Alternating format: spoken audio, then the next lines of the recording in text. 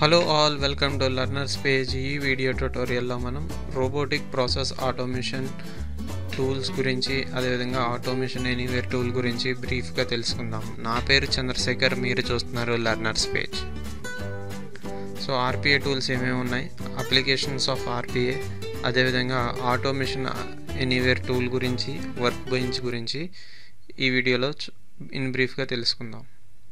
ముందుగా process automation అంటే ఏంటి? ప్రోగ్రామింగ్ టూల్స్ ఆల్రెడీ మనకి ఏమేమి ఎగ్జిస్ట్ ఉన్నాయని కనుక చూసినట్లయితే మనకి విజువల్ స్టూడియో ప్రోగ్రామింగ్ టూల్ కింద మనం చూసుకోవచ్చు. సో ఏవైనా సరే మనం ఒక మైక్రోసాఫ్ట్ అప్లికేషన్స్ని కనుక ఆటోమేట్ చేయాలి అనుకుంటే ఆల్రెడీ మనం విజువల్ స్టూడియోస్ని యూజ్ చేసి మనం ఆటోమేట్ చేయొచ్చు. అదేవిధంగా మనకి ఆల్రెడీ ఎక్సెల్ మ్యాక్రోస్ కానీ ఎక్సెల్లో మనకి మ్యాక్రోస్ ఉన్నాయి. అదేవిధంగా అవుట్లుక్లో మ్యాక్రోస్ ఉన్నాయి. సో వీటిని కూడా మనం ప్రాసెస్ ఆటోమేటెడ్ కింద చెప్పుకోవచ్చు. అదేవిధంగా ETL so extract transform load so ఏవైతే మనం బిజినెస్ ఇంటెలిజెన్స్ టూల్స్లో యూజ్ చేస్తున్నామో సో ఇవి ఈటీఎల్ టూల్స్ని కూడా మనం ప్రాసెస్ ఆటోమేషన్ కింద మనం చెప్పుకోవచ్చు. సో వీటికి ఆర్పిఏ టూల్స్కి ఉన్న మేజర్ డిఫరెన్స్ ఏంటి అని కనుక చూసినట్లయితే ఆర్పిఏ టూల్స్ అనేవి ఒక అప్లికేషన్ నుంచి ఇంకొక అప్లికేషన్కి కనెక్ట్ అయ్యే ఛాన్సెస్ ఉంటాయి. అంటే మనం ఒక అవుట్లుక్ నుంచి ఎస్ఏపి కనెక్ట్ అవ్వచ్చు ఎస్ఏపి నుంచి ఈటీఎల్ టూల్స్ కనెక్ట్ అవ్వచ్చు ఈటీఎల్స్ టూల్స్ నుంచి వెబ్ బ్రౌజర్స్ కనెక్ట్ అవ్వచ్చు. సో ఏదైనా ఒక బ్యాంకింగ్ ట్రాన్సాక్షన్స్ కావచ్చు అదేవిధంగా డేటాబేస్ ఆటోమేటిక్గా అప్డేట్ చేయడం కావచ్చు. సో ఈ విధంగా మనం ఆర్పిఏ టూల్స్ని యూజ్ చేసి ఇతర ఇతర అప్లికేషన్స్కి కూడా కనెక్ట్ అవ్వచ్చు. కానీ ప్రాసెస్ ఆటోమేషన్స్ ఏంటంటే పర్టిక్యులర్ సేమ్ ఫ్యామిలీ నుంచి సేమ్ ఫ్యామిలీ ఆటోమేట్ చేయ చేయొచ్చు. అంటే Microsoft applications to Microsoft applications ఆ విధంగా మాత్రమే అంత ఎక్స్టెండ్ వరకునే మనం ప్రాసెస్ ఆటోమేషన్లో చేయొచ్చు. ఇంకా ఆర్పిఏ టూల్స్ కనుక చూసుకున్నట్లు అయితే మనకి మార్కెట్లో present UI path blue prism automation anywhere అనేవి ట్రెండింగ్లో ఉన్నాయి. సో ఇవే కాకుండా మనకి కొన్ని ఓపెన్ సోర్స్ ఆర్పిఏ టూల్స్ కూడా నవే డేస్లో మార్కెట్లో ఎగ్జిస్ట్ అవుతున్నాయి. కాకపోతే UI path blue prism automation అనేవి మోస్ట్ ప్రిఫరబుల్ అని మనం చెప్పుకోవచ్చు.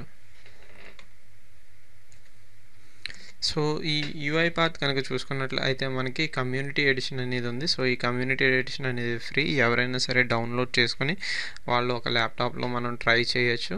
అదేవిధంగా ఎంటర్ప్రైజ్ ఎడిషన్ కూడా ఉంది. సో ఎంటర్ప్రైజ్ ఎడిషన్ వచ్చేటప్పటికి మనకి సిక్స్టీ డేస్ ట్రయల్ వర్షన్ అనేది ఉంటుంది. అదేవిధంగా క్లౌడ్ వర్షన్ అదేవిధంగా ఎంటర్ప్రైజ్ సర్వర్ వర్షన్స్ కూడా ఉన్నాయి. అండ్ నెక్స్ట్ బ్లూ ప్రిజం కనుక చూసుకున్నట్లయితే బ్లూ ప్రిజంలో మనకి కమ్యూనిటీ ఎడిషన్ అనేది లేదు. సో ఫస్ట్ ఒకటి థర్టీ డేస్ ట్రయల్ లేదా లెర్నింగ్ది కనుక తీసుకున్నట్లయితే మనకి నైంటీ డేస్ ట్రయల్ అనేది ఉంది. సో ఎంటర్ప్రైజెస్ అన్నీ కూడా మనం కంపల్సరీ పర్చేస్ చేయాల్సిందే. అండ్ నెక్స్ట్ ఆటోమేషన్ ఎనీవేర్కి వచ్చేటప్పటికి ఆటోమేషన్ ఎనీవేర్లో మనకి కమ్యూనిటీ ఎడిషన్ అనేది ఉంది. సో ఈ కమ్యూనిటీ ఎడిషన్ మనం డౌన్లోడ్ చేసుకుని మనం యూస్ చేసుకోవచ్చు. అదేవిధంగా ఎంటర్ప్రైజ్ వర్షన్స్కి వచ్చేటప్పటికి మనం సమ్ ఫీజ్ uh, అనేది ఇయర్లీ మనం పే చేయాల్సి ఉంటుంది. So applications of RPA so ఈ ఆర్పిఏ అప్లికేషన్స్ ఏ విధంగా మనకి ఉన్నాయి?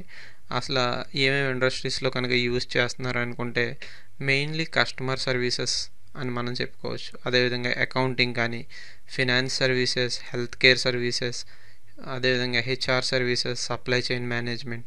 So ఎందులో అయినా సరే ఈ ఆర్పీ అప్లికేషన్స్ అనేవి మనం మోస్ట్ ఫ్రీక్వెంట్గా యూజ్ చేస్తాం. సో బెస్ట్ ఎగ్జాంపుల్ ఏంటంటే ఎప్పుడైతే మనం ఒక మనీ ట్రాన్సాక్షన్ మనం ఒక ఏటీఎం నుంచి సపోజ్ సమ్ మనీ విత్డ్రా చేసాము మన మొబైల్ ఫోన్కి ఎస్ఎంఎస్ అలర్ట్ ట్రిగ్గర్ అవుతుంది అదేవిధంగా ఈమెయిల్ ట్రిగ్గర్ అవుతుంది అదేవిధంగా బ్యాంక్లో మనకి బ్యా మనీ విత్డ్రా అవగానే బ్యాంక్ సర్వర్స్ డేటాబేస్లో ఆటోమేటిక్గా డేటా అనేది అప్డేట్ అవుతుంది. సో ఇది ఒక బెస్ట్ ఆర్పిఏ టూ అప్లికేషన్ అని మనం చెప్పుకోవచ్చు. అదేవిధంగా హెల్త్ కేర్ సర్వీసెస్లో కనుక చూసుకుంటున్నట్లయితే ఫార్మసీలో ఇప్పుడు ఆన్లైన్లో మనం ఏమన్నా మెడిసిన్స్ పర్చేస్ చేసినా సరే అదేవిధంగా అమెజాన్ సర్వీసెస్ కనుక చూసుకున్నట్లయితే అమెజాన్ ఆన్లైన్ షాపింగ్ సర్వీసెస్ అవనివ్వండి. అదేవిధంగా ఫైనాన్స్ ఇండస్ట్రీస్ అకౌంటింగ్స్ అదేవిధంగా సప్లై చైన్స్లో ఎప్పుడైతే లాజిస్టిక్స్ మనకి ఒక ప్లేస్ నుంచి ఇంకో ప్లేస్కి ట్రేస్ చేస్తున్నాం సో ఆ గూడ్స్ అని ఏ విధంగా ఎక్కడ ఎప్పుడు ఎక్కడికి షిప్పింగ్ అవుతుంది ఎప్పుడు డెలివరీ అవుతుంది అదేవిధంగా డెలివరీ అయిన తర్వాత పర్టికులర్ పర్సన్కి ఈమెయిల్స్ ఏ విధంగా ట్రిగ్గర్ అవుతున్నాయి సో ఇవన్నీ కూడా మనం ఆర్పీ అప్లికేషన్స్ అని చెప్పుకోవచ్చు. సో ఆటోమేషన్ ఎనీవేర్ ఒక ఆర్కిటెక్చర్ కనుక చూసుకున్నట్లయితే మనకి ఈ విధంగా ఉంటుంది. So control room control room అదేవిధంగా bot creator bot runner. So bot creator అనేవాళ్ళు ఏంటంటే అప్లికేషన్ని డెవలప్ చేస్తారు.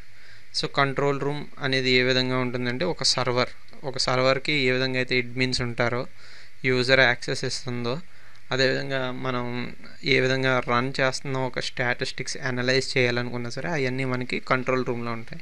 So bot runners so bot creators అనేవాళ్ళు మనకి బోట్ని క్రియేట్ చేసి ఉంచుతారు. సో బోట్ రన్నర్స్ని ఈ బోట్ ఏదైతే ఉందో ఆటోమేటెడ్ ఆర్పిఐ అప్లికేషన్ ఏదైతే చేసామో దాన్ని బోట్ రన్నర్స్ రన్ చేస్తారు. సో ఈ విధంగా మనకి ఆటోమేషన్ ఎనీవేర్ ఆర్కిటెక్చర్ అనేది ఉంటుంది. సో ఆటోమేషన్ ఎనీవేర్ కంట్రోల్ రూమ్లో కనుక చూసుకున్నట్లయితే మీకు ఇందాక చెప్పినట్లు ఓకే? సో కంట్రోల్ రూమ్ అనేది వెబ్ బేస్డ్ ప్లాట్ఫామ్లో మనకి ఉంటుంది. సో ఈ వెబ్ బేస్డ్ ప్లాట్ఫామ్లో ఏంటి అంటే మనకి ఫస్ట్ లైసెన్స్ ఎప్పుడు పర్చేస్ చేసాం అదేవిధంగా డాష్ బోర్డ్ ఉంటుంది ఏమేమి యాక్టివిటీస్ చేసాం అదేవిధంగా బోర్డ్స్లో కనుక చూసుకున్నట్లయితే ఏమేమి బోర్డ్స్ ఈ కంట్రోల్ రూమ్లో ఉన్నాయి సో ఏమేమి డివైజెస్ కనెక్ట్ అవ్వన్నది అదేవిధంగా ఆడిట్స్ ఏమైనా ఆడిట్స్ చేయాలనుకుంటే ఆడిట్స్ డివైజెస్కి ఏమేమి కనెక్ట్ అవ్వ ఉన్నది. సో ఇదంతా కంట్రోల్ రూమ్లో ఉంటుంది. అంటే ఇది it's nothing but like an administrator. ఒక అడ్మినిస్ట్రేటర్ చేయాల్సినవి అన్నీ కూడా మనకి కంట్రోల్ రూమ్లో ఉంటాయి. అదేవిధంగా audit log suppose board store. So మనకి ఏంటంటే ఈ బోర్డ్ స్టోర్ అనేది యాప్ స్టోర్స్ ఎలా ఉంటాయో ఒక అప్లికేషన్ నుంచి మన మొబైల్ ఫోన్లోంచి వేరే వేరే అప్లికేషన్స్ ఏ విధంగా అయితే మనం డౌన్లోడ్ చేసుకుంటున్నామో అదేవిధంగా మనకి బోర్డ్ స్టోర్ కూడా ఉంటుంది. అంటే ఉన్న ప్రాసెస్కే ఇంకా ఎడిషనల్గా ప్రీ డిఫైన్ బోర్డ్స్ని కూడా మనం డౌన్లోడ్ చేసుకుని అవి మనం ఇక్కడ నుంచి కనుక రన్ చేస్తే అవి మన బోట్లో ఇన్కార్పొరేట్ అవి ఇంకా ప్రాసెస్ అనేది సింప్లిఫై అవుతుంది అనమాట ఇంకా లైసెన్స్ టైప్కి వస్తే కనుక మనకి టూ టైప్స్ ఆఫ్ లైసెన్స్ ఉంటాయి. Bot creator licenses and bot runner licenses. Developers ఎవరైతే ఉన్నారో వాళ్ళకి బోట్ క్రియేటర్ లైసెన్స్ తీసుకుంటారు.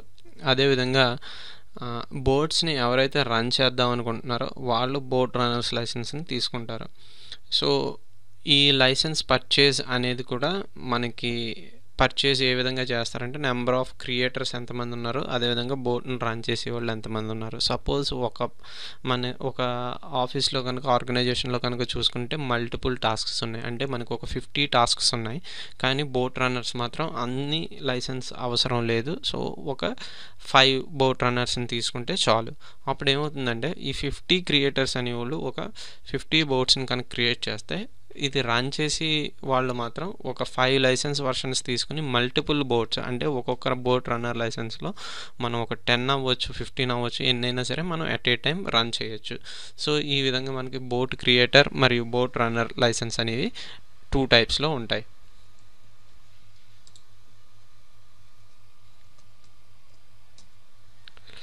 సో ఇప్పుడు కనుక చూసుకున్నట్లయితే bot runner uh, bot runner కనుక చూసుకున్నట్లయితే మనకి ఈ విధంగా ఉంటుంది విండో. సో ఇక్కడ మనకి టాస్క్స్ ఏమైతే ఉన్నాయో మై టాస్క్స్లో బోట్స్లో మనకి ఇక్కడ లభిస్తుంది. And types of recorders. Automation ఎనీవేర్లో మనం స్క్రీన్ని రికార్డ్ చేయొచ్చు అనమాట అంటే ఏ ఏ విధంగా మనం ఎక్సెల్లో మ్యాక్రోస్ని రికార్డ్ చేసి మనం ఒక ఆటోమేటెడ్ ప్రోగ్రామ్ని ఎక్స్ట్రాక్ట్ చేస్తున్నాము ఆ విధంగానే మనం ఆటోమేషన్ ఎనీవేర్లో కూడా మనం వితౌట్ అంటే కోడ్ రాయకుండానే ఓన్లీ మనం యాక్షన్స్ని రికార్డ్ చేసి దానికి కరస్పాండింగ్ కోడ్ని అనేది మనం క్యాప్చర్ చేయొచ్చు. అది ఏ విధంగా చేస్తాం అంటే సో ఇందులో త్రీ టైప్స్ ఉన్నాయి. ఫస్ట్ది వచ్చి ఏంటి అంటే screen recorder smart recorder and web recorder ఈ స్క్రీన్ రికార్డర్ అనేది ఏంటి అంటే స్టాటిక్ అప్లికేషన్స్ ఏవైతే ఉన్నాయో ఆ స్టాటిక్ అప్లికేషన్స్కి కానీ లేదంటే ఒక easy form of screen recording అప్లికేషన్స్కి మనం ఈ స్క్రీన్ రికార్డర్ అనేది యూజ్ చేస్తాం. స్మార్ట్ రికార్డర్కి వచ్చేటప్పటికి ఏంటి అంటే ఒక డెస్క్టాప్ అప్లికేషన్స్ కానీ ఏమన్నా అప్లికేషన్స్లో మల్టిపుల్ ఆబ్జెక్ట్స్ని ఐడెంటిఫై చేయాలి. అంటే సమ్ టిక్ ఆప్షన్ కానీ క్లిక్ ఆప్షన్ కానీ లేదంటే డేటా వ్యాలిడేషన్ కానీ కాంబో బాక్సెస్ కానీ రేడియల్ బటన్స్ కానీ ఇటువంటి ఈ మనం అంటే ఒక వెబ్ అప్లికేషన్స్లో చూడండి సమ్ టైమ్స్ మనం అప్లికేషన్ని టిక్ చేస్తాం రేడియల్ బటన్స్ ఉంటాయి చెక్ మార్క్ చేస్తాం మౌస్ క్లిక్ యాక్షన్స్ ఉంటాయి అంటే డబల్ క్లిక్ యాక్షన్స్ సో అటువంటి వాటికి మనం స్మార్ట్ రికార్డర్ని యూజ్ చేస్తాం. అండ్ నెక్స్ట్ వచ్చి ఈ వెబ్ రికార్డర్కి వచ్చేటప్పటికి ఏంటి అంటే వెబ్ బేస్డ్ అప్లికేషన్స్ ఏవైతే ఉన్నాయో అవన్నీ కూడా వెబ్ బేస్డ్ నుంచి మనం మల్టిపుల్ పేజెస్ నుంచి డేటాని ఎక్స్ట్రాక్ట్ చేయడానికి కానీ సో అటువంటి వాటికి వెబ్ రికార్డర్ని యూజ్ చేస్తాం. అండ్ నెక్స్ట్ వచ్చి వర్క్ బెంచ్ సో ఈ వర్క్ బెంచ్ క్యాన్ వన్ కనుక చూసుకున్నట్లయితే మనకి ఈ వర్క్ బెంచ్ క్యాన్వాన్ కనుక చూసుకున్నట్లయితే మనకి మల్టిపుల్ క్యాన్వాస్ ఉంటాయి ఇక్కడ. సో ఇక్కడ ఏంటంటే సేమ్ మనం ఒక ఎస్ఎస్ఐ ప్యాకేజ్లో మనకి ఏ విధంగా అయితే టూల్స్ అన్నీ కూడా లెఫ్ట్ సైడ్లో ఉంటాయి. ఏమేమి టూల్స్ యూజ్ చేద్దాం అనుకుంటున్నారో అవన్నీ కమాండ్స్ అవన్నీ కూడా మనకి ఇక్కడ లెఫ్ట్ బ్యా లెఫ్ట్ బాక్స్లో ఉంటాయి.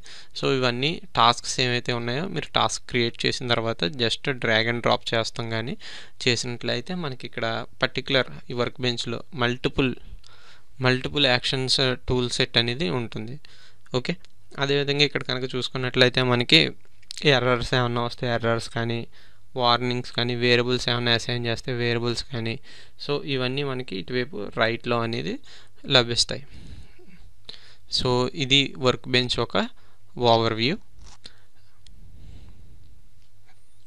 అండ్ నెక్స్ట్ నెక్స్ట్ వచ్చి మనకి ఆటోమేషన్ ఎనీవేర్లో మనకి task boards meta boards IQ boards అని ఉన్నాయి. సో టాస్క్ బోర్డ్స్ అంటే మనం ఇక్కడ వర్క్ బెంచ్లో ఏదైతే క్రియేట్ చేస్తున్నామో అవన్నీ కూడా మనం టాస్క్ బోర్డ్స్ కింద మనం చెప్పుకోవచ్చు. ఓకేనా? ఈ వర్క్ బెంచ్లో మనం ఏమేమైతే పర్టికులర్ మనం మాన్యువల్గా మనం క్రియేట్ చేస్తున్నామో డిస్ప్లే అవ్వాలన్నా సరే లేదంటే సమ్ వేరియబుల్స్ క్రియేట్ చేస్తున్నామో అవన్నీ కూడా మనకి టాస్క్ బోర్డ్స్లో ఉంటుంది. ఇంకా మెటాబోట్స్కి వచ్చేటప్పటికి ఏంటంటే ఈ ప్రీ బిల్ట్ బ్లాక్స్ మాట. అంటే బోర్డ్ స్టోర్ నుంచి కానీ మనం ఎక్కడి నుంచి అయినా సరే ఇవి ఈ మెటాబోర్డ్స్ని మనం బిల్డ్ చేయొచ్చు అదేవిధంగా డౌన్లోడ్ కూడా చేసుకోవచ్చు. మల్టిపుల్ అప్లికేషన్స్లో అంటే ఈ ఒక మెటాబోర్డ్ని వేరే ఇతర అప్లికేషన్స్లో కూడా మనం యూస్ చేయొచ్చు అనమాట so it's like a build block boards కింద మనం చెప్పుకోవచ్చు. నెక్స్ట్ వచ్చి ఐక్యూ బోర్డ్స్ సో ఈ ఐక్యూ బోర్డ్స్ అని ఏంటంటే కొంచెం అడ్వాన్స్డ్ అనమాట అంటే it it can learn by it own అన్నట్టు సమ్ యాక్షన్స్ రిపీటెడ్గా చేస్తున్నా సరే ఈ ఐక్యూ బోర్డ్స్ అని డిటెక్ట్ చేసి ఆ యాక్షన్స్ నుంచి లర్న్ చేసుకుంటాయి. సో ఇది మనకి ఐక్యూ బోర్డ్ కింద మనం చెప్పుకోవచ్చు. అదేవిధంగా బోర్డ్ స్టోర్స్ మీకు మెటా బోర్డ్స్ చెప్పాను కదా. సో దాని తర్వాత కొన్ని ప్రీ బుల్డ్స్ బోర్డ్స్ ఉంటాయి. సో ఇవే మనం మెటాబోర్డ్స్ కింద మనం డౌన్లోడ్ చేసుకోవచ్చు. సో బోర్డ్ స్టోర్లో కనుక చూసుకున్నట్లయితే ఎస్ఏపి సపోజ్ ఎస్ఏపిలో కానీ లేదంటే సమ్ అదర్ విండోస్ అప్లికేషన్స్ కానీ సో ఆల్రెడీ కొన్ని బోర్డ్స్ బిల్డ్ చేసేసి ఉంటాయి. ఆ బోర్డ్స్ని మనం డౌన్లోడ్ చేసుకుని మన యూటిలిటీస్కి మన రిక్వైర్మెంట్స్కి సరిపోయేటట్టు మనం మోడిఫై చేసుకుంటే చాలు.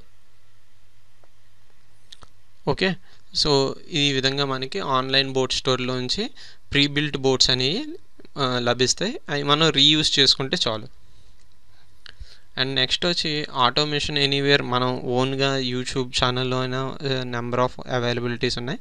అదేవిధంగా మనకి ఏంటి అంటే ఆటోమేషన్ ఎనీవేర్ యూనివర్సిటీ ఉంటుంది. సో ఆ యూనివర్సిటీలో కనుక మీరు కోర్స్ కంప్లీట్ చేసి టెస్ట్ కనుక బేసిక్ కొన్ని ఫ్రీ సర్టిఫికేషన్ టెస్ట్స్ ఉంటాయి. అవి కనుక మీరు కంప్లీట్ చేసినట్లయితే మీకు ఈ విధంగా సర్టిఫికేషన్ అనేది కూడా వస్తుంది. సో నెంబర్ ఆఫ్ కోర్సెస్ అనేవి మనకి ఆటోమేషన్ ఎనీవేర్లో మనకి లభిస్తాయి. సో ప్రతిదీ కూడా ఇన్ డీటెయిల్ అండ్ డెప్త్గా ఉంటుంది. సో ఇది ఫ్రెండ్స్ నాకు ఆటోమేషన్ గురించి ఆటోమేషన్ ఎనీవేర్ సాఫ్ట్వేర్ గురించి నాకు తెలిసిన ఇన్ఫర్మేషన్ మీతో షేర్ చేసుకున్నాను.